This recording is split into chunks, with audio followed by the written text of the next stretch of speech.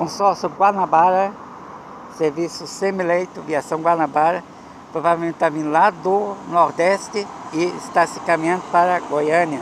Boa viagem ao motorista que pegou ônibus lá em lá perto famoso, lá perto de, de, Cito, de Cito Bezerra, e agora vai ser já o governo estadual e depois seguirá dire, é, direto para a rodoviária de Goiânia.